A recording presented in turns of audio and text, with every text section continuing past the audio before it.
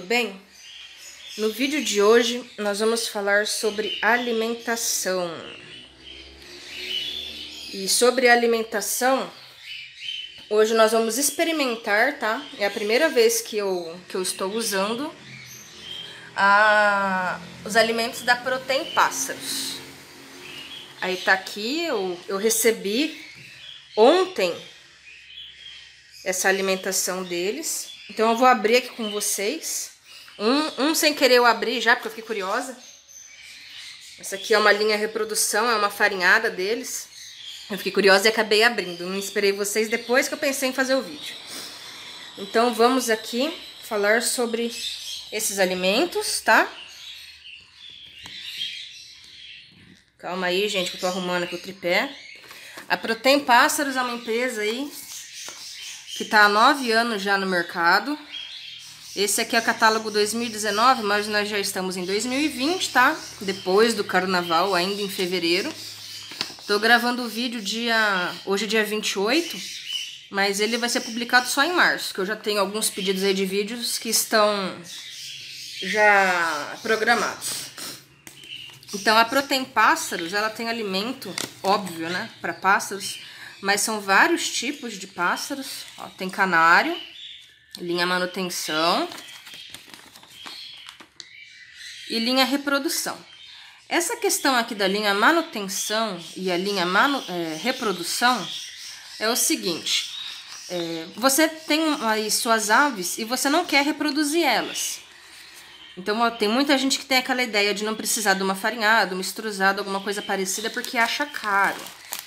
Essa linha manutenção é uma linha mais em conta, né, financeiramente dizendo, mas com todos assim a composição que sua ave precisa, mesmo não indo reproduzir.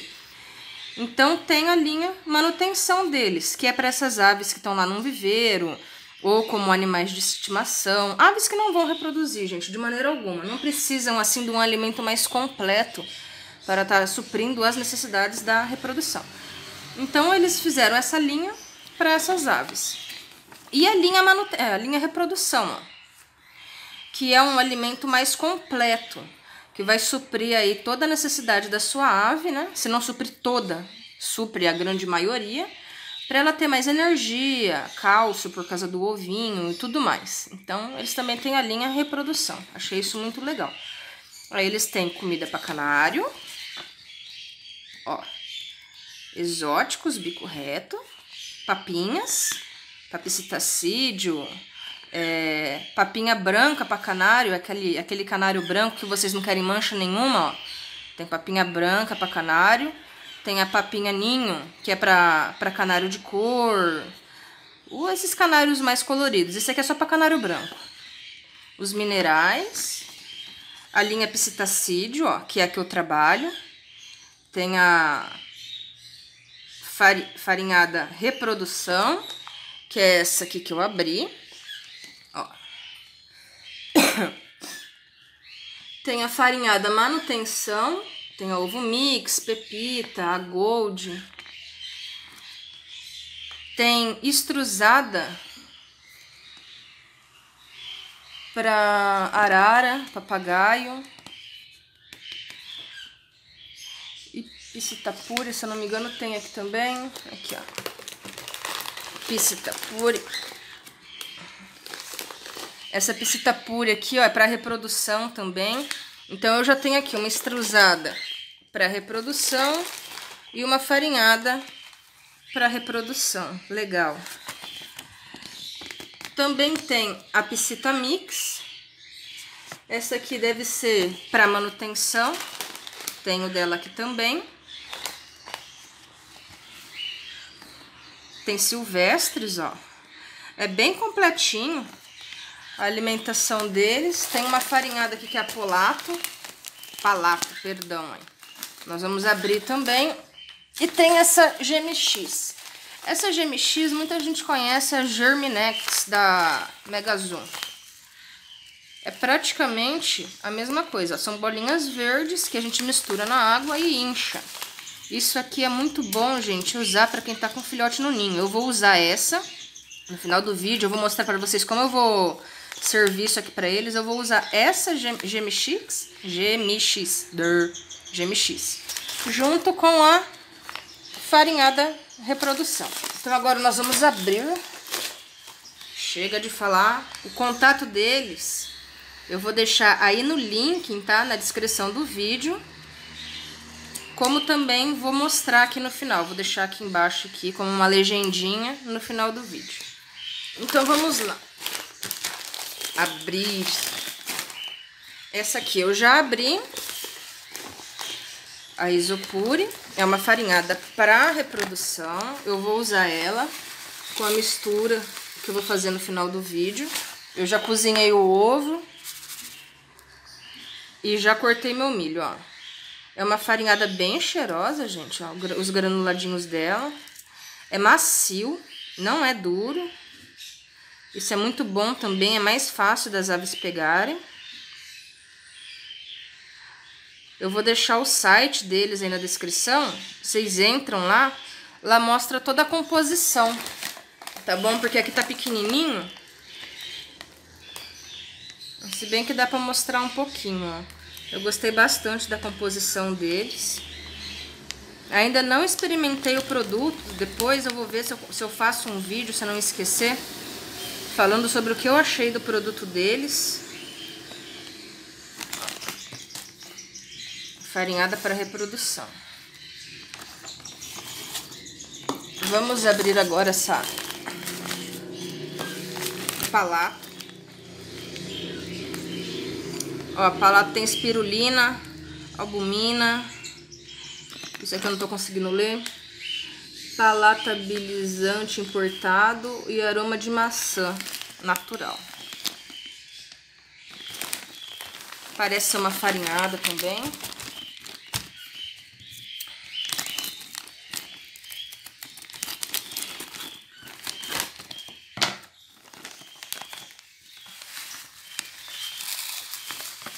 É verdinha, que legal.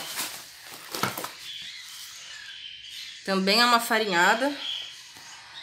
É uns granuladinho com um pozinho mesmo, ó, é bem macio. Eu não tô fazendo força, ela vai esfarelando. O aroma é bem agradável também. O aroma, gente, chama muita atenção da calopsita. Olha lá.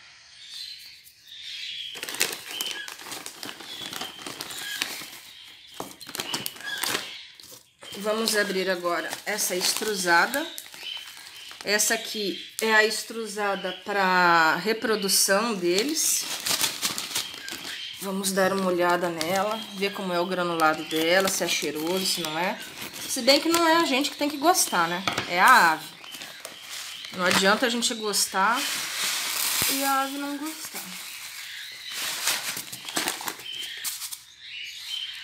Eu gostei do tamanho do granulado dela. É um granulado macio também. O porquê que é importante ver isso, gente? Se o granulado é muito grande, a calopsita não pega. E se ele é duro, ela também não tem interesse. Então, ó, vocês podem ver, eu não tô fazendo força, ó. Ele vai esfarelando. Isso é muito bom que a hora que ela pegar e, e fazer a forcinha com o bico dela, já vai os, o, os farelinhos pro bico dela, chama a atenção do paladar da ave. Se for muito duro, não adianta que elas não pegam. Uma vez experimentei uma estruzada, ela era dura, só gastei dinheiro com ela. Essa questão da estruzada também, tem muita gente que me pergunta qual é a melhor estruzada. Gente, não existe a melhor estruzada, tá? Você pode ver aí, fazer uma pesquisa, falar ah, a melhor extrusada é a da marca fulano de tal. Aí você vai lá, gasta uma nota com essa, essa extrusada, que dizem que é a melhor, que é da fulano de tal. E sua calopsita não come, adiantou do quê? Adiantou de nada, né? Porque ela não vai comer. Então a melhor extrusada, gente, é aquela que a sua calopsita vai aceitar. Certo? Não adianta você estar tá aí com uma extrusada mega das mega das mega e ela não comer. Vocês têm que pensar nisso também. Então, vamos lá para a Piscita Mix. Essa Piscita Mix é uma... A extrusada de manutenção deles.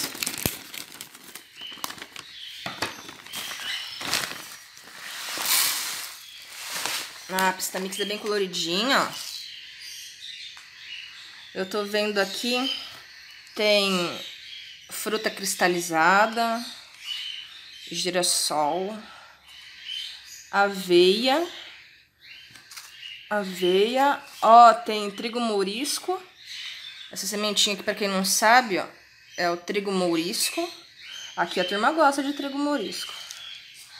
Tem também essa sementinha branca, aqui ó, cártamo, sai, ó, cártamo, Cártamo, gente, é como se fosse um girassol branco, mas não é, né? Só que não.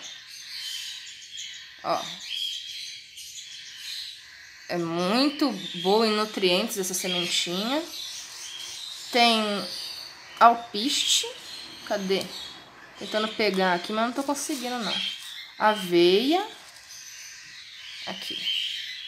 Consegui pegar uma aveia. Tô tentando pegar o alpiste, mas não tô conseguindo. Mas tem aqui. E o granulado dela tem o amarelo e tem o vermelho. Eu não sei qual que é um, qual que é o outro. Mas aqui, quando vocês lerem, ó, vai mostrar. Eu tô tentando fazer um vídeo mais rapidinho para não ficar longo. Mas para mostrar mesmo. Ela também é bem cheirosa. Eu acho que essa aqui vai ser mais fácil deles pegarem. Porque tem bastante sementinha. Uma dica aí para vocês introduzirem a extrusada na alimentação da sua ave, olha, também é molinha. É você pegar, por exemplo, essa aqui, ó.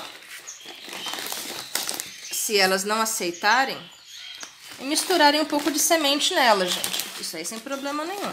De pouquinho em pouquinho a sua, fase, a sua ave vai pegando. Só adaptar. Bem cheirosa também. Essa aqui é mais uma extrusada deles. Vamos para a próxima. E cereais, frutas e mel. É uma outra extrusada.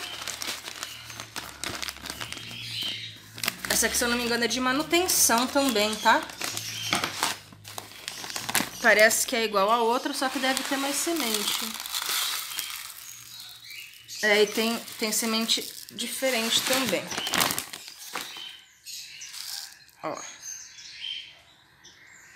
Essa aqui tem mais fruta cristalizada, tem bastante mesmo, ó. Fruta cristalizada, fruta, fruta.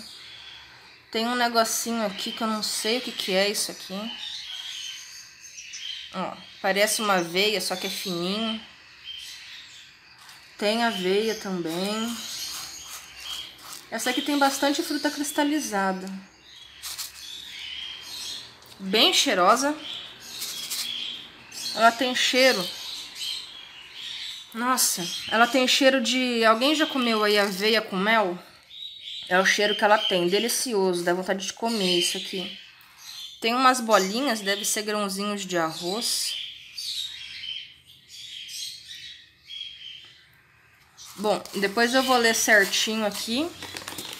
Aqui, gente, ó, fala tudo o que que é, ó. Parece Granola. Isso, tem cheiro de granola. Tava tentando lembrar, eu vi o desenho aqui, ó, eu lembrei, mas tem cheiro de granola. Ah, isso aqui, ó. Já sei até o que, é agora. É negocinho de banana daqueles que vai em granola. Muito legal. Completinho mesmo. E nós vamos agora para a GMX. A GMX eu já falei aí, lembra um pouco da Germinex, daquele, da Mega Zoom, se eu não me engano.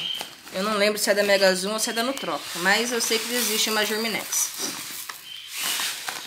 A Germinex a gente mistura com água, tá?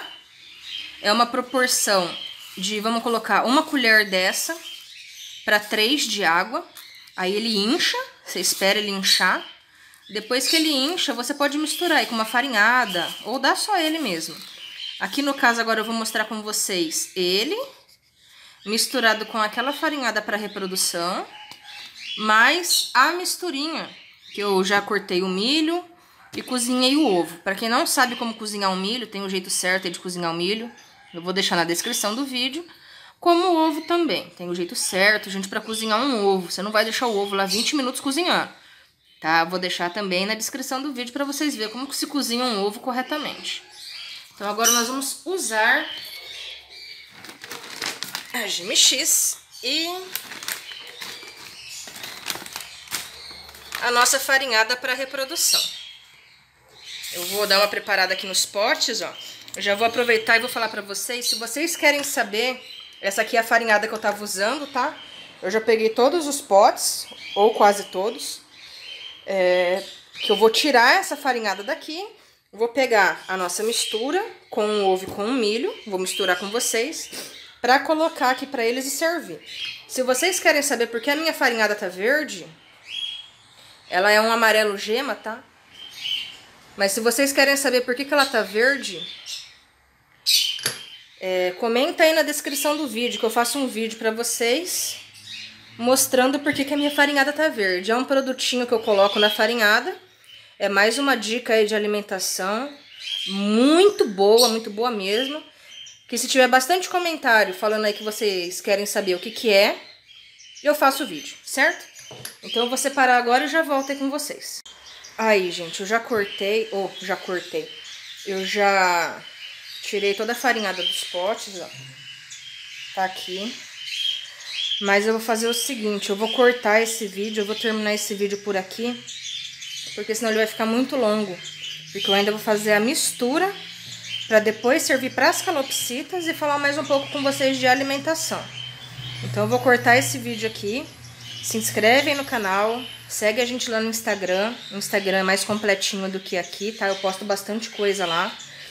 É, ativa o sininho para receber as próximas no notificações. E por favor, curte o nosso vídeo, tá? Não perca o continue desse vídeo. Eu só vou fechar aqui agora a câmera e vou continuar. Até a próxima!